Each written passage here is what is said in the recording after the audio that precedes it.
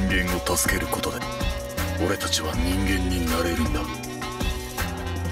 ベロは人間に闇見すぎ早く人間になりたいな。何回助けたって意味ないよ。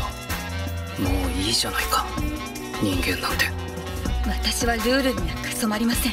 間違ってるものには間違ってる。声を上げます。やれやれ。めんどくさいやつばっかりだ連れてきてください。その3体を。私たちの力を必要としている。また嫌な思いが増えるだけだ。